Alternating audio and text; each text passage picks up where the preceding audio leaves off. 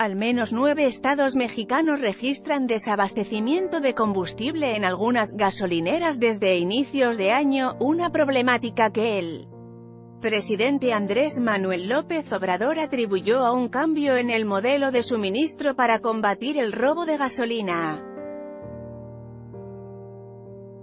En los estados de Jalisco, Michoacán, Guanajuato, Querétaro, Hidalgo, Nuevo León, Puebla, Estado de México y Aguascalientes, decenas de estaciones de servicios han reportado falta de algún tipo de hidrocarburos desde principios de año.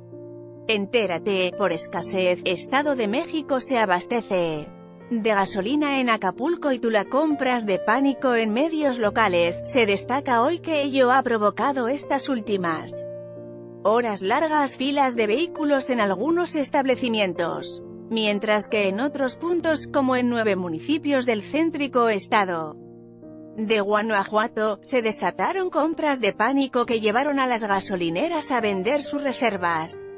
Cuestionado por los medios.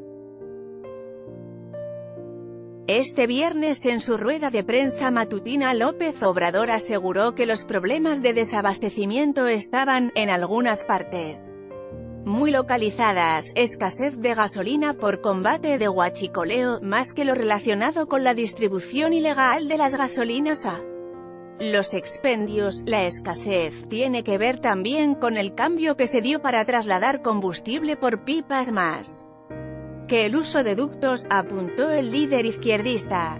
Lee esto, gasolinas, desabasto y precios ponen en jaque a gobierno.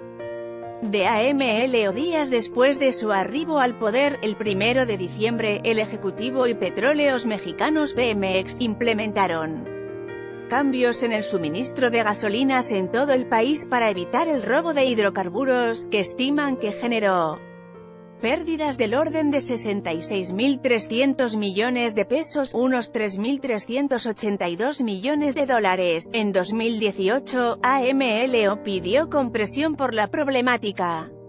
El líder de Movimiento Regeneración Nacional, Morena, pidió comprensión a la ciudadanía en tanto se resuelve la problemática. Puedes leer. Te explicamos la crisis de combustible que enfrenta MLO a solo cinco días de 2019 explicó que en Morelia, capital del occidental estado de Michoacán, la escasez disminuyó de 90 a 70 estaciones de servicio. La convocatoria a la población es para que ayude y que comprenda que sí se están dando estos casos pero son transitorios porque hay un reacomodo, concluyó.